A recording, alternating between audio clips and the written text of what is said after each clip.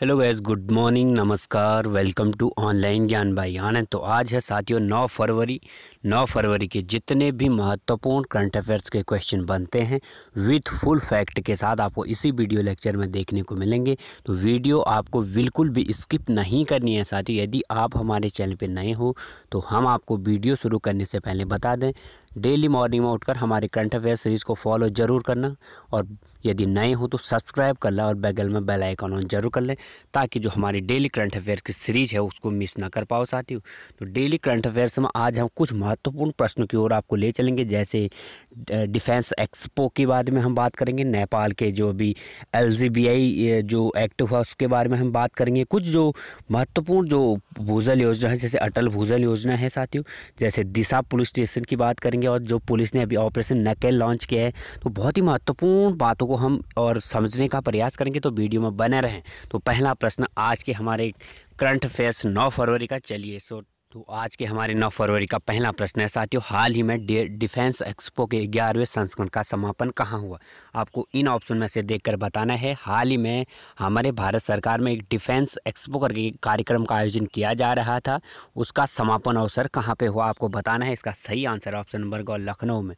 तो हाल ही में डिफेंस एक्सपो का ग्यारहवें संस्करण का अंत जो हुआ, लखनऊ में आयोजन हुआ साथ इसकी जो अध्यक्षता की थी हमारे रक्षा मंत्री, हमारे भारत सरकार में भी राजनाथ सिंह जी ने की थी थी और समापन समारोह में भी इन्होंने ही अपनी भाषण से संबोधन कर कर इस डिफेंस एक्सपो का जो का जो आयोजन था उसको समापन का रूप दिया साथियों। और इसमें बात करें तो डिफेंस एक्सपो में 40 अफ्रीकी देशों के प्रतिनिधियों ने भाग लिया था और उसमें बहुत ही महत्वपूर्ण चीज़ों के बारे में डिफेंस से संबंधित बातें हुई। तो हमने पिछले लेक्चर में आपको खूब इस बारे में डिस्कस करा रखा है। तो तो आपको यदि नहीं पता है तो पूरा देख लीजिएगा पिछले वाले लेक्चर हमारे। तो हाल ही में सारे डिफेंस एक्सपो के ग्यारहवें संस्करण का समापन उत्तर प्रदेश की राजधानी लखनऊ में हुआ साथियों। तो इसका सही आंसर आपका लखनऊ। बढ़ते हैं अपने दूसरे प्रश्न की ओर। दूसरा प्रश्न है, हाल ही में किस देश ने एलजीबीटी लोगों की जनगणना करने की घोषणा की हुई है? तो आप आपको इन ऑप्शन में से देखकर बताना है। फिर हम आपको एलजीबीटी क्या है क्या है इसकी घोषणा पूरा बताने का और समझाने का प्रयास करेंगे। तो हाल ही में साथियों, इसमें से तो सही आंसर है, नेपाल देश ने। तो हाल ही में नेपाल देश ने एलजीबीटी लोगों की जनगणना करने की घोषणा की हुई है। इसका उद्देश्य नेपाल सरकार का क्या है, इसके बारे में हम आपको बताएँ। इससे पहले हम आपको एलजीबीटी का फुल फॉर्म से अवगत करा देते हैं। जो एल का फुल फॉर्म है साथ ही उसका है lesbian, gay bisexual transgender. Lesbian, gay, bi bisexual transgender. इसका फुल फॉर्म है। इसका उद्देश्य क्या रहेगा है एलजीबीटी जो समुदाय है, इसका नेपाल सरकार ने इस जनगणना का उद्देश्य क्या रखा है? इनके लिए जो एल लोग हैं साथियों, जो ट्रांसजेंडर बाइसेक्सुअल ट्रांसजेंडर लोग हैं, इनके लिए अलग लॉ हो और एक अलग एजुकेशन की व्यवस्था हो साथियों। और यानी इनको नेपाल सरकार क्या करना चाह रही है? जो नॉर्मल ह्यूमन है, उनकी तरह इसको ट्रीट किया जाए, इस, इनके हक के लिए नेपाल की यह घोषणा बहुत ही महत्वपूर्ण है साथियों। तो नॉर्मल ह्यूमन की तरह इन लोगों को व्यवहार किया जाए और इनको ट्रीट किया जाए और इनके लिए अलग नियम हो साथियों और अलग एजुकेशन की व्यवस्था हो, इसके लिए नेपाल सरकार की यह बहुत ही अच्छी पहल है। तो हाल ही में एलजीबीटी लोगों की जनगणना करने की घोषणा किसने की है? नेपाल सरकार ने की है। तो एलजीबीटी का फुल फॉर्म हमने बताया lesbian gay bi lesbian gay bisexual transgender तो इसका सही आंसर आपको ऑप्शन नंबर को बढ़ते हैं तीसरे प्रश्न की ओर हम आज के। हाल ही में पिन लोपी कोजियानो ने किस बैंक के मुख्य अर्थशास्त्री के पद से इस्तीफा दे दिया है? तो आपको इन ऑप्शन में से बताना है। हाल ही में पिन लोबी कोजियानो, इसने किस देश के मुख्य अर्थशास्त्र के पद से इस्तीफा दे दिया है?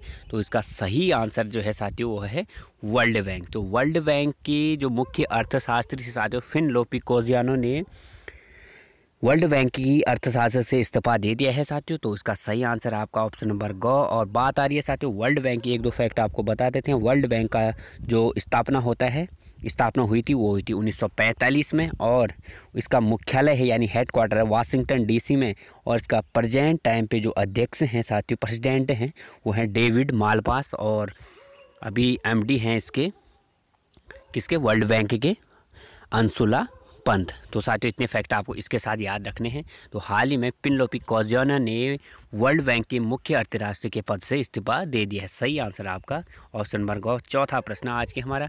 हाल ही में किस राज्य सरकार ने नई बागवानी नीति लागू करने की घोषणा की हुई है? तो आपको इन ऑप्शन में से बताना है, हाल ही में किस राज्य सरकार ने नई बागवानी नीति का लागू करने की घोषणा की है? सही आंसर आपका ऑप्शन नंबर गौ, जम्मू कश्मीर। तो हाल ही में साथियों, नौ जो वर्तमान हमारे भारत देश में अभी केंद्र शासित प्रदेश जम्मू कश्मीर ने नई बागवान नीति अपने राज्य में लगाने की घोषणा की हुई है। क्या है इसका उद्देश्य जानने का प्रयास करते हैं? तो जम्मू कश्मीर ने नई बागवान नीति कर रखी है साथियों। वर्तमान आंकड़ा देखें तो हम जम्मू कश्मीर में इसमें आठ हज़ार करोड़ का टर्नओवर है बागवानी से भी। तो इस, इसी आठ हज़ार करोड़ को पचास हज़ार करने के लिए साथ एक नई बागवानी नीति की घोषणा जम्मू कश्मीर में की हुई है। अभी आजकल की बात करें तो बागवानी में यहाँ पर कितना का टर्नओवर है, हमने आपको बताया, आठ हज़ार करोड़ का है। तो इसे पचास हज़ार करोड़ करने के लिए जम्मू कश्मीर में अभी बहुत ही अच्छी पहल हुई है नई बागवानी नीति की। तो बात आ रही है साथियों जम्मू कश्मीर की, आपको पता होगा, हाल हाल ही में हमारे केंद्र शासित, दो केंद्र शासित प्रदेशों का गठन हुआ है, एक हो गया जम्मू कश्मीर और एक हो गया लेह लद्दाख। तो साथियों, लेफ्टिनेंट गवर्नर है भी जम्मू कश्मीर के गिरीश चंद ब्योना। तो इसका सही आंसर आज का हमारा करंट अफेयर्स का जो हाल ही में किस राज्य सरकार ने नई बागों नीति लागू करने की घोषणा की, option number one Jammu Kashmir. तो बढ़ते हैं आज के हम पाँचवें प्रश्न की ओर। हाल ही में आईओसी कच्चे तेल की खरीद के लिए किस देश के साथ समझौता किया है हाल ही में आपको आईओसी यानी इंडियन ऑयल कॉरपोरेशन ने कच्चे तेल की खरीद के लिए किस देश के साथ समझौता किया है? इसका सही आंसर ऑप्शन नंबर गो रशिया के साथ। तो हाल ही में इंडियन ऑयल कॉरपोरेशन ने साथियों रशिया के साथ एक MOU साइन किया हुआ है। इसमें बात करें इसमें किसकी बात हुई है? कच्चे तेल की खरीद की बात हुई है। बात आ रही है साथियों किसकी? आ, कच्चे तेल खरीदने वाली आईओसी की, यानी इंडियन ऑयल कॉरपोरेशन का फुल फॉर्म है। आईओसी की स्थापना कब हुई थी साथियों? 1959 में हुई थी। हेडक्वार्टर है आईओसी का, नई दिल्ली में अभी अध्यक्ष है इसके संजीव सिंह साथियों। और बात आ रही है फिर रसिया की। रसिया के बारे में एक दो फैक्ट आप और जान लेते हैं। रसिया की जो राजधानी है साथियों कैपिटल है, वो है मॉस मॉर्को और यहाँ की जो करेंसी है रशियन रुपीज़ है साथियों। और यहाँ के अभी जो आपको राष्ट्रपति पता हो गया, आपको पलामेदिर पुतिन है यहाँ के अभी रशिया के राष्ट्रपति साथी तो हाल ही में आईओसी, इंडियन ऑयल कॉरपोरेशन ने रशिया के साथ कच्चे तेल खरीद के लिए एक समझौता पर हस्ताक्षर किए हुए। सही आंसर आपका ऑप्शन नंबर को हाल ही में केंद्र सरकार ने कितने राज्यों में अटल भूजल योजना की मंजूरी दी हुई है? तो इसका सही आंसर जो है साथियों, ऑप्शन नंबर ख सात। तो आपको विदित होगा नाम से ही साथियों, भूजल योजना, यानी ग्राउंड रिसोर्सेज यानी आपको पता होगा साथियों, हमारे धरती के नीचे के हैं, बहुत सा जल है, उसको कैसे हम सुरक्षित करें और अपने जो जीवन यापन कैसे उसका उपयोग करें। इसके लिए केंद्र सरकार ने राज्य में अटल भूजल योजना की मंजूरी दी है, उसमें से जो पूरे राज्य हैं, सात राज्य। इन सात राज्यों के बारे में आपको विदित करें। नंबर वन है गुजरात राज्य, दूसरा है हरियाणा, तीसरा है साथियों कर्नाटक, चौथा है एमपी मध्य प्रदेश।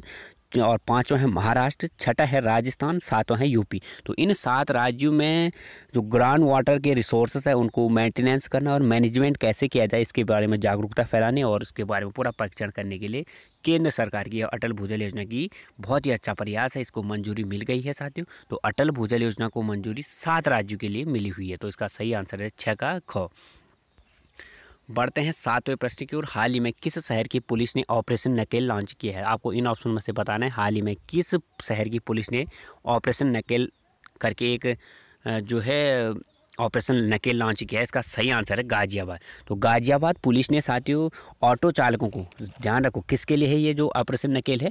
ऑटो चालकों को होने वाले जो महिला ऑटो में, जो महिलाओं की सुरक्षा के लिए यह पहल की हुई है गाजियाबाद पुलिस के द्वारा। आपको विदित होगा साथ ही ऑटो यानी रिक्शाओं में बहुत से महिलाओं के साथ उत्पीड़न हो जाता है कभी कभार और बहुत से देखने को मिलते हैं हमें कांड। तो उसी से बचाव के लिए साथियों गाजियाबाद पुलिस की यह पहल है। इसमें क्या करेगी गाजिया पुलिस, गाजियाबाद पुलिस जो भी उस शहर के ऑटो चालक हैं, उनका रजिस्ट्रेशन करेगी और उनको एक चार अंक का एक वेरिफिकेशन नंबर देगी साथ ही उनको क्या करना होगा इसको चारों तरफ़, यानी जैसे ये ऑटो है, इनको दाएँ बाएँ सीट के दाएँ बाएँ, चारों ओर उस वेरिफिकेशन नंबर को लगाना होगा।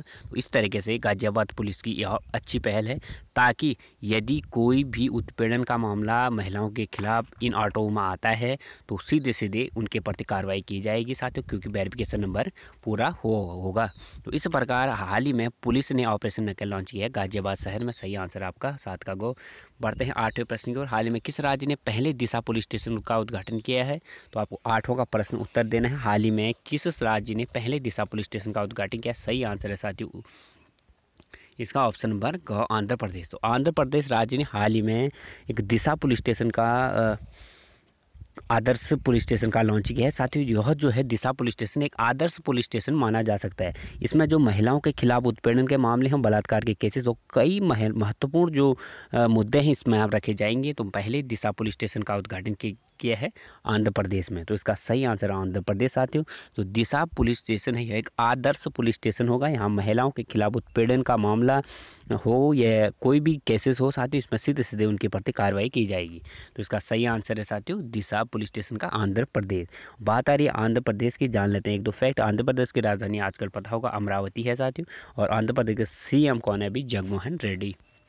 आज का हमारा हाल ही में किस देश की सेना ने दुनिया का पहला बुलेट प्रूफ हेलमेट विकसित किया है साथियों? तो इसका सही आंसर है हमारे अपने भारत देश ने। तो हमारे अपने भारत देश ने अभी सेना ने भार, हमारे अपने देश भारत की थल सेना ने दुनिया का पहला बुलेट प्रूफ हेलमेट विकसित किया है।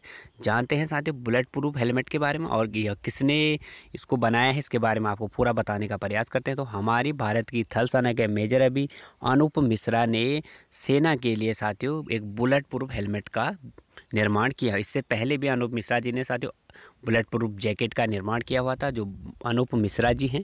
ये इंजीनियरिंग कोर के एक मेजर हैं भारतीय थल सेना में।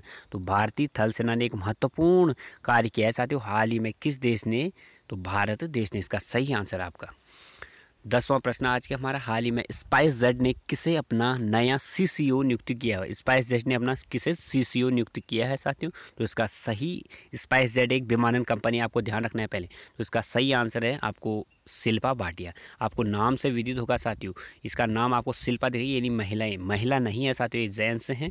तो शिल्पा भाटिया स्पाइस जेड के नए सी सी ओ नियुक्त किया। बात आ रही है सी तो सी क्या होता है साथियों? सी का फुल फॉर्म होता है chief commercial officer chief commercial officer का फुल फॉर्म आ सकते हो। सो अभी स्पाइस जेड ने शिल्पा भाटे को सी नियुक्त किया अपना। तो ग्यारहवा प्रश्न आज का हमारा, हाल ही में किस देश ने फिलिप वाटन को भारत में अपना उच्चायुक्त नियुक्ति किया हुआ है? तो फिलिप वाटन तो फिलिप वाटन कौन है साथियों? तो फिलिप वाटन अभी जो भारत में निर्मित ब्रिटेन के नए उच्चायुक्त हैं। तो इसका सही आंसर है ऑप्शन नंबर गौ ब्रिटेन के। तो आपको विदित होगा साथियों, हमने आपको पिछले वाले लेक्चर में बताया था कि एम्बेसडर और उच्चायुक्त में क्या डिफरेंस है। किसी राज्य में राजदूत होते हैं नियुक्त और किसी देशों में क्या होते हैं? उच्चायुक्त तो होते हैं। किसी देशों में तो राजदूत होते हैं नियुक्त किसी देशों में उच्चायुक्त तो होते हैं। इनमें क्या डिफरेंस है?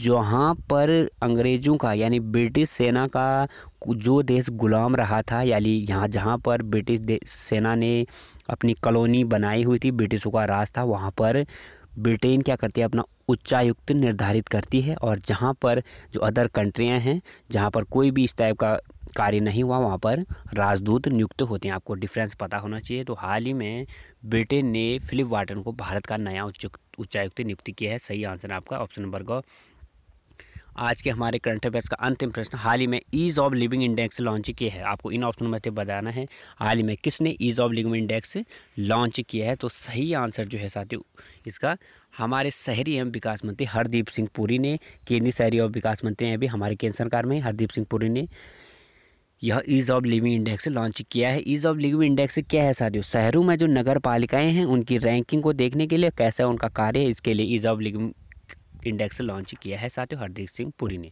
तो आज के हमारे आपको महत्वपूर्ण करंट अफेयर्स से अवगत कराया। साथियों आपको हमारी करंट अफेयर्स की सीरीज़ कैसी लगी? यदि अच्छी लगी तो लाइक करें।